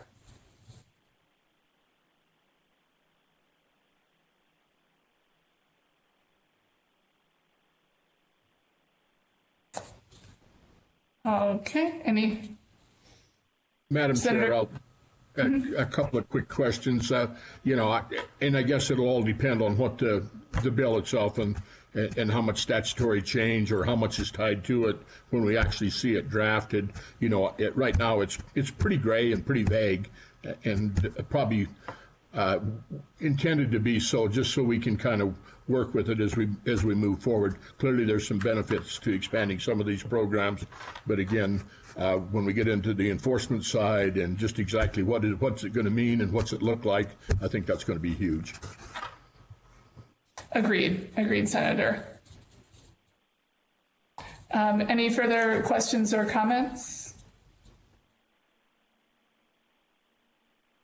Okay, and, um, and now I think I'm just having a brain blackout. Uh, this is what, now we need to, we vote on each one individually, correct, Mr. Stinnesbeck? Sorry.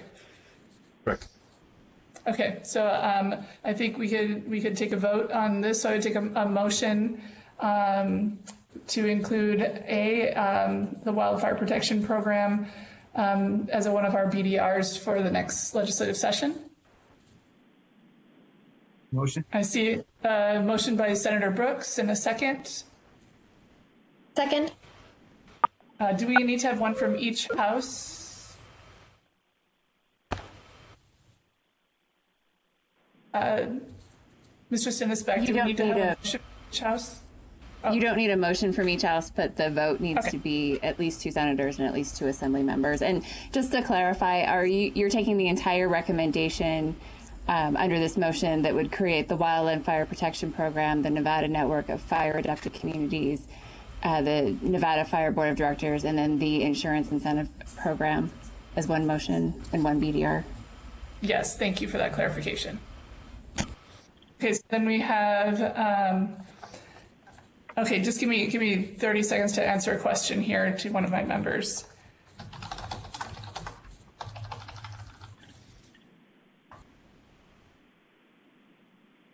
And so I believe just, we had a, a question from one of the members. Um, um, we have on this list five BDRs, five, five, only five options that qualify as a BDR. And just to make sure I'm remembering correctly,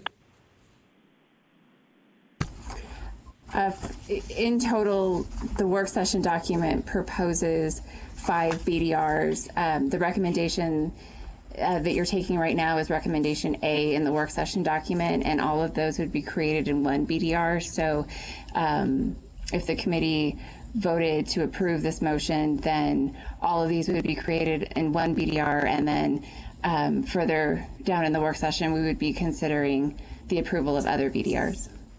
and there are only four additional BDRs that we're considering today in addition to this one. That's my understanding. Okay, just wanted to be sure there was a, there was a, a question from one of the members.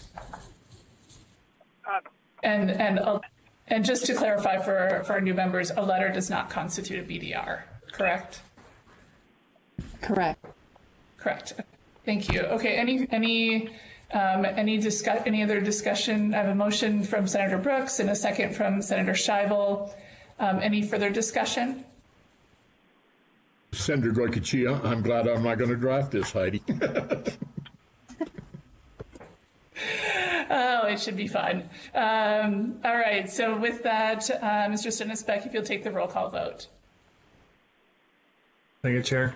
Senator Brooks, Yes. Senator Goicoechea, yes. Senator Shiloh, Yes. Assemblyman Peters, Yes. Chair Swank, Yes. Assemblywoman Titus.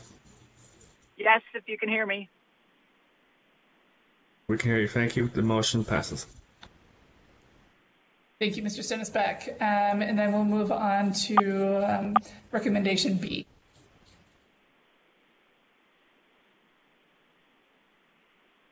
Thank you. Um, the next recommendations relate to wildfire prevention and fuels reduction.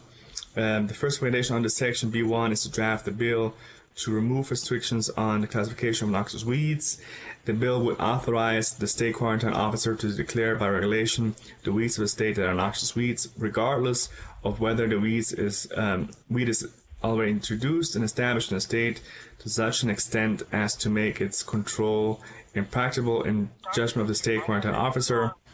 This change would allow the state quarantine officer to classify cheatgrass as a noxious weed. Thank you. Thank you. Um, and so with that, I think let's let's do a motion in a second, and then we can have discussion. It's probably the best way to go. So is there a, a motion on um, recommendation B, um, removing restrictions on the classification of noxious weeds related to cheatgrass?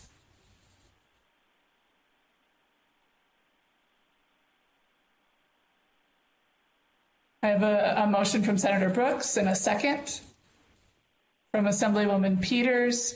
Is there any discussion on the motion? Madam Chair, if you, uh, Senator Goicoechea here, I'm, I'm just kind of, I'm not really sure exactly what you're looking at. Uh, removal of the restrictions. Uh, so you're saying then technically the restriction that uh, cheatgrass is not to be is to be deemed a noxious weed. Is, it, is that the requirement of this BDR?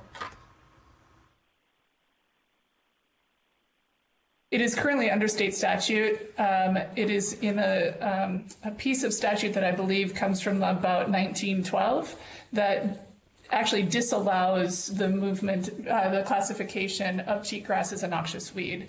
Uh, the state quarantine officer currently cannot, um, if they would so choose, classified as a noxious weed. This would merely allow them to if they chose to. It would not move, the, it would not change the classification.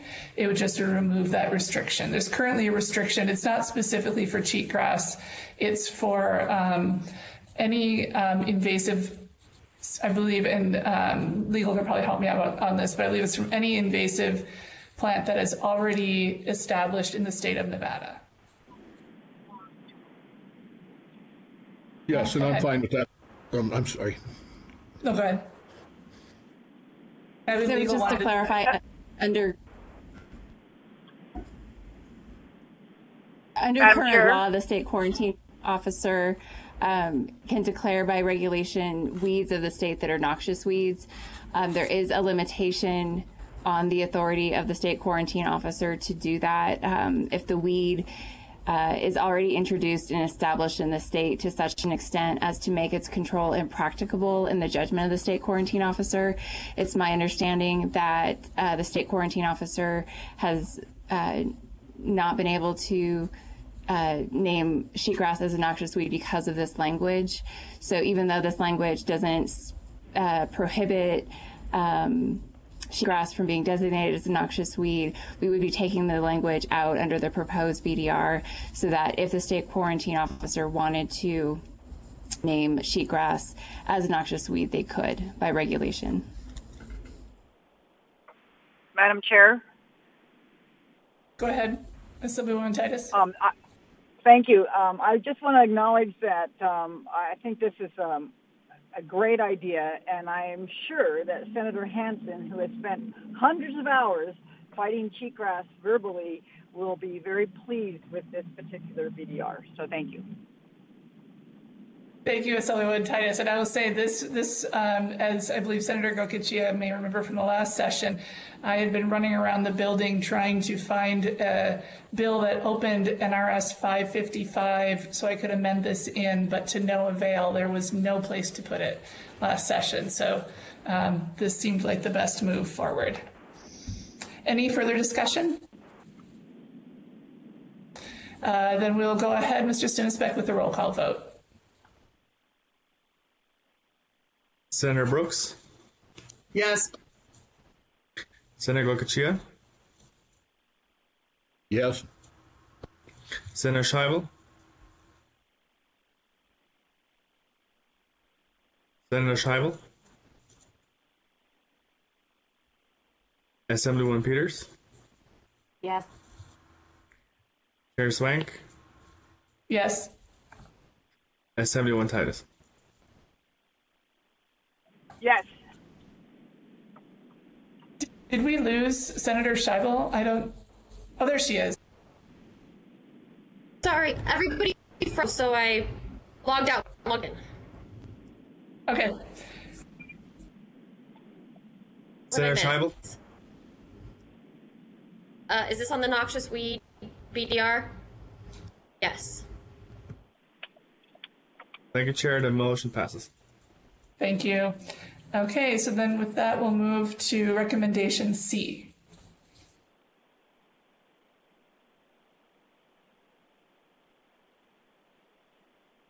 The Chair, I believe there's uh, we, we're on recommendation B2.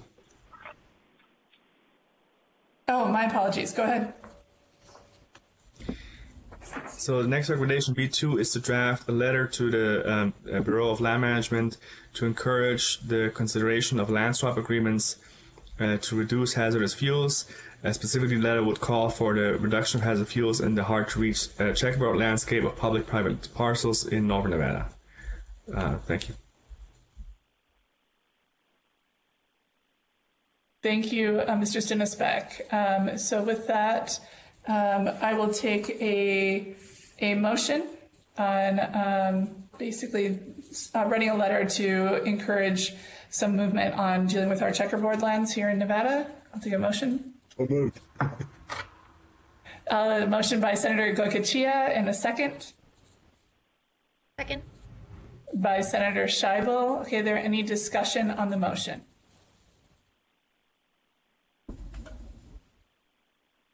Seeing none, uh, Mr. Stinnesbeck, go ahead and take the roll call vote.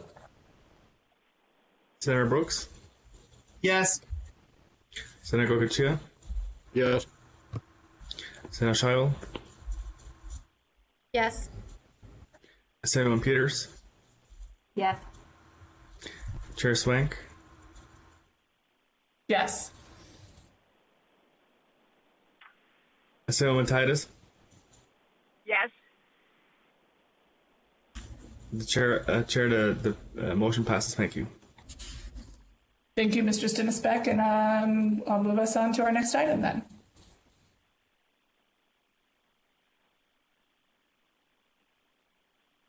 Thank you, Chair. The next item before the committee is uh, C1. Um, and um, the next section of this work session document relates to wildfire management. Specifically, the first regulation on the section um, uh, C1 is to draft a letter of support uh, for the uh, DRI, the Desert Research Institute, uh, to study the potential use of unmanned aircraft systems for wildfire management. Um, thank you.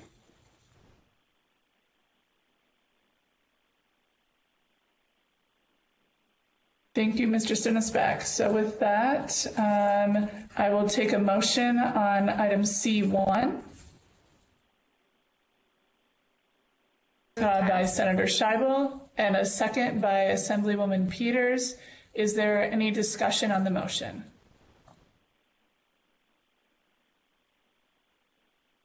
Just a question, Madam Chair. Uh, and again, I'm, I'm not sure. We're going to look look at it and study it. I understand by, but uh, you know, again, that's being more and more regulated and probably needs to be. If there's an issue on almost every wildland fire today, it's you know warning the public not to fly, uh, you know, unmanned aerial vehicles around the site of the fire. So it, it's going to be sticky no matter what we do with it, but it needs to be addressed. Agreed, agreed. Any further discussion on the motion?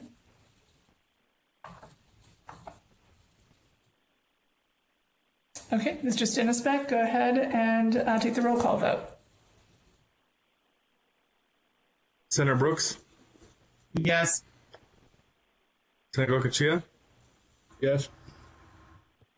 Senator Scheible? Yes. Senator Peters? Yes. Chair Swank? My apologies, looking somewhere else. Um, yes. Assemblywoman Titus? Yes. The motion passes. Thank you. Thank you, Mr. Stinnesbeck. So with that, we'll move on to item C2, um, uh, public-private partnerships in wildfire management. Thank you, Chair. Um, the next recommendation C2 is to draft a bill uh, authorizing public-private partnerships for wildfire management, specifically to enhance investment in wildfire prevention, restoration infrastructure, and workforce development. Thank you. Thank you, Mr. Stinnesbeck. So with that, I'll take a motion on item C2 from Assemblywoman Peters and a second from uh, Senator Goicoechea. Is there any discussion on the motion?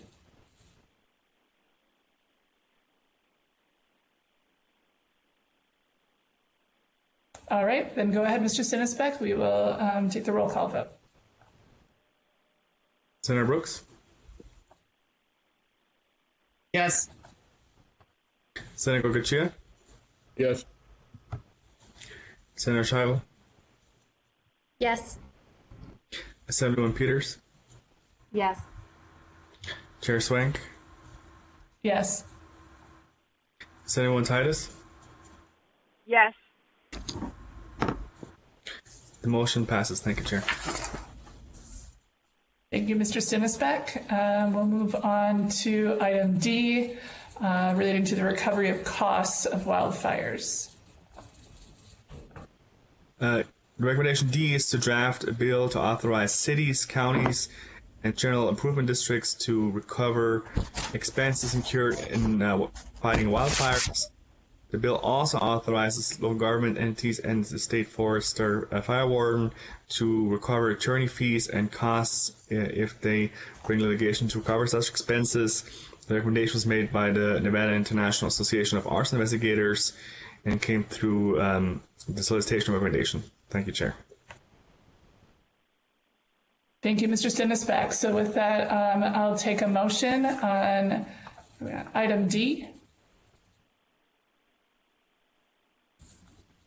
A motion from Assemblywoman Peters and a second from Senator Brooks. Is there any discussion on the motion? Madam Chair, Mhm. Go ahead, Senator. uh, my only question is, who are we going to bill?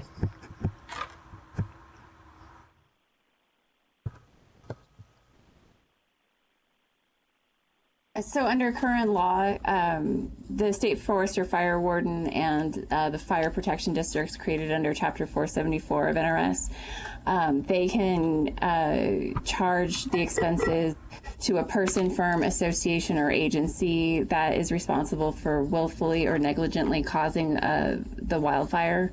So um, I believe the recommendation would be to give the similar authority to the cities, counties, and GIDs. So it would be the a person, firm, association, or agency that is found responsible for willfully or negligently causing the fire.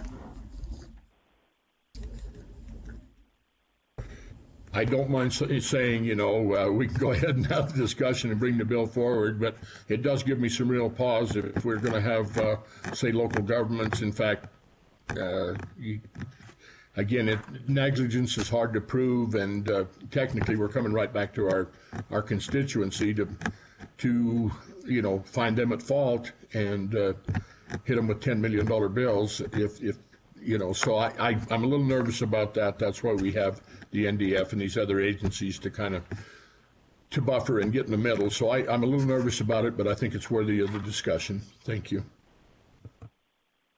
Agreed. This is definitely a bit of a sticky wicket for sure, and it's going to require a lot of conversation. But I think it's something that um, is probably a good idea to move forward, at least have the conversation. Any further discussion on the motion? Okay, Mr. Stinnesbeck, if you'll take the roll call vote. Senator Brooks? Yes. Senator Goicoechea? Yes, if I can get unmuted here. Senator Scheible? Yes. Assemblyman Peters? Yes. Chair Swank? Yes. Assemblyman Titus? Yes. Thank you, Chair. The motion passes. Thank you, Mr. Stinnesbeck. So we'll move to, uh, let's see, item E, the uh, wildfire mitigation plans of utilities.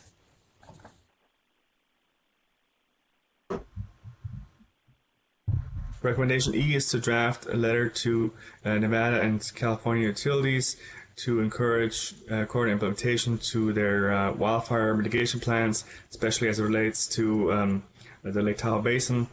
And I believe we had um, some uh, public comment on that today. Uh, the recommendation came from uh, Mr. Adler for the International Brotherhood of Electric Workers Local 1245 and uh, came out of the solicitation recommendation. Thank you. Thank you, Mr. Stinnesbeck. Uh, I'll take a motion on um, this recommendation. So Is there a motion? Uh, this is Assemblywoman Peters so- and then oh. Senator Brooks. Go ahead. Yeah, I'd like to move that we um, uh, adopt this. Okay, so I have a, a motion from Senator Brooks and a second from Assemblywoman Peters. Um, any discussion on this motion? Seeing none, uh, you can go ahead and take the roll call vote, Mr. Stinnesbeck. Senator Brooks? Yes. Senator Goicoechea? Yes. Senator Scheible? Yes. Assemblywoman Peters? Yes. Chair Swank? Yes. Assemblywoman Titus? Yes. The motion passes. Thank you, Chair. Thank you, Mr. Stinnesbeck. And we'll go to um, recommendation F on the Wildland Urban Interface Code. Recommendation F is to draft a letter to support the State Fire Marshal's Office in the statutory adoption of the most current version of the Wildland uh, Urban Interface Code. This recommendation was made by uh, NDF. Thank you.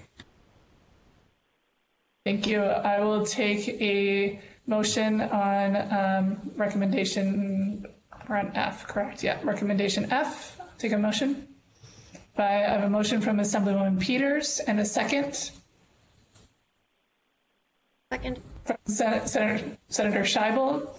Um, any discussion on the motion? Seeing none, Mr. Stinnesbeck. Senator Brooks? Yes. Senator Goicoechea? Yes. Senator Scheible? Yes. Assemblywoman Peters? Yes. Chair Swank? Yes. Assemblywoman Titus? Yes. The motion passes. Thank you, Chair. Thank you, Mr. Stinnesbeck. Uh, so moving on along, we will go to our last item, um, item G, uh, forest health and water quality. The last recommendation from the committee today is um, uh, recommendation G is to draft a resolution recognizing that forest health and water quality are inextricably linked. The resolution would express support for federal, state, and local governments to work with water purveyors and other stakeholders to identify watersheds that can be improved upon by better forest health measures. Thank you. Thank you, Mr. Stinnesbeck. So I'll take a motion on item G from Assemblywoman Peters and a second from uh, Senator Goicoechea. Um, any discussion on the motion? Seeing none, let's take the roll call vote. Senator Brooks? Yes. Senator Goicoechea? Yes. Senator Scheible? Yes. Assemblywoman Peters? Yes. Chair Swank? Yes. Assemblywoman Titus? Yes. The motion passes. Thank you, Chair. Thank you, Mr. Stinnesbeck. And I just lost my agenda. Hold on one second. I closed the wrong window on my computer, of course. Okay, there we are. I'm back. Sorry. Um, okay, so we have our our bills set and uh, resolutions and also letter uh, going forward. Um, so with that, uh, we will move into public comment. So as a reminder for folks who are listening, um, the phone number to call in is 669 900 6833. and your meeting ID is 931 3257 2611. And so we're going to take a short two minute break uh, just to allow folks to call in.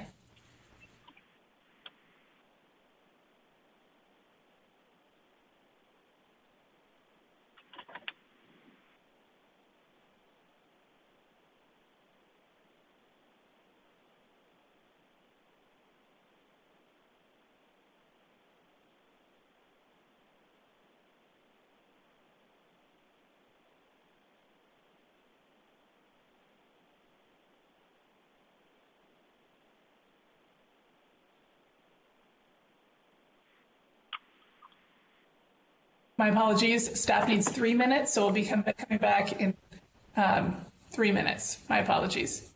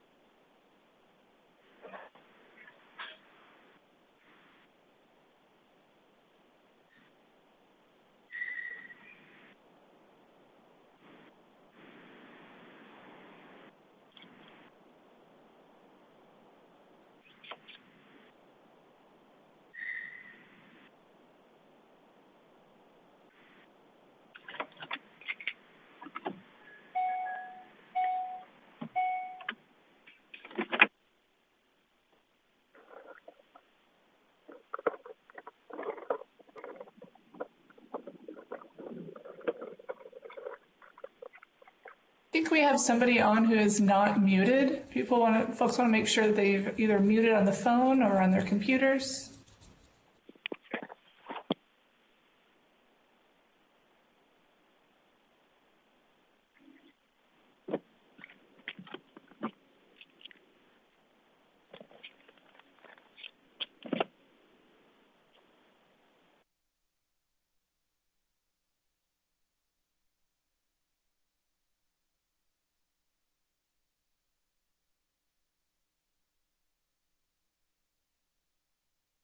Madam Chair, we're ready to proceed with public comment. Alrighty, thank you. So we'll come back um, and go to the first person in co public comment. Please remember to um, state and spell your name, um, and comments will be limited to three minutes. And staff will be timing each speaker and um, give you a 30 minute heads up when you're getting toward the end of your three minutes. A 30 second heads up. Thank you.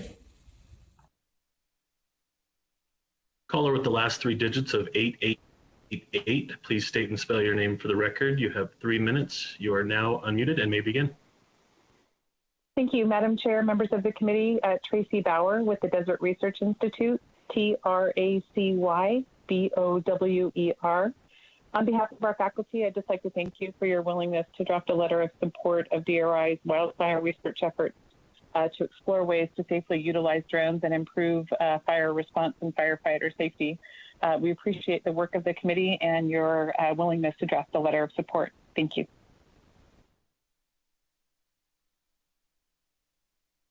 Thank you. Caller with the last three digits of 249, please state and spell your name for the record. You have three minutes. You are now unmuted and may begin.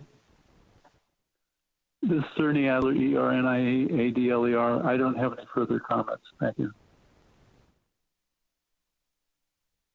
Thank you, Mr. Adler, for being here, and, and thank you for submitting um, um, your request for um, BDRs this, uh, to the committee. We appreciate it.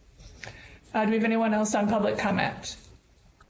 That concludes public comment at this time, Madam Chair. Thank you, sir. So with that, I want to be sure to thank the committee. Um, we, um, it's been um, a, a, short ride, but we've, I think we've gotten a lot done in our in our four meetings. Uh, even with only one of those being in person. Um, but thank you all so much for your hard work. And I also want to be sure to thank Senator Goicoechea. We have been uh, doing this for a little while on this wildfire stuff, and hopefully we have gotten it to someplace and uh, we'll keep going. Um, so with that, um, we have no further business. Thank you all so much for all of your time and efforts you put into this committee, and we are adjourned. Thank you all. Have a safe holiday weekend.